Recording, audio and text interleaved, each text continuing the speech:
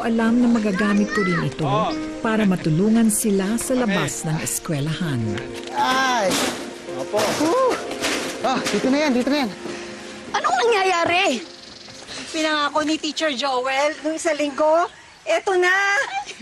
Maaayos na ho natin yung mga bubong ng mga classroom natin. Para ganahan naman pumasok yung mga bata sa school.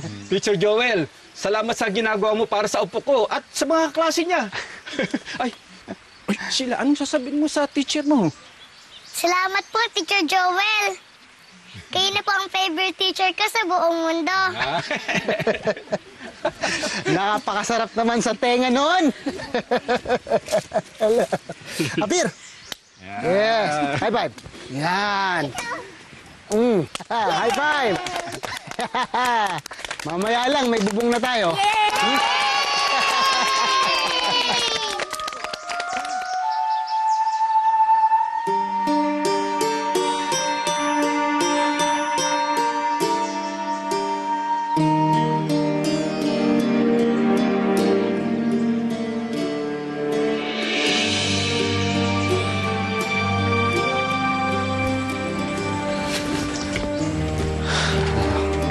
tayo. Ha? Ha? Sige. Good morning po, Teacher Joel! Teacher Joel! Good morning po! Ano pa? Good morning! Good morning po! Pasok na kayo, pasok!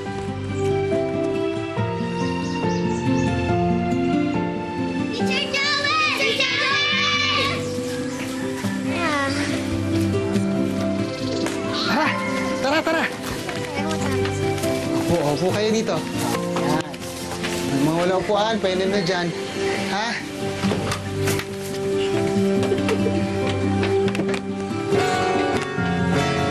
Good morning, class. Good morning, class. Good morning! Magandang umaga sa inyo. Good morning, Teacher Joel! Good morning. Ready na kayo? Oo! Tara, tara, tara.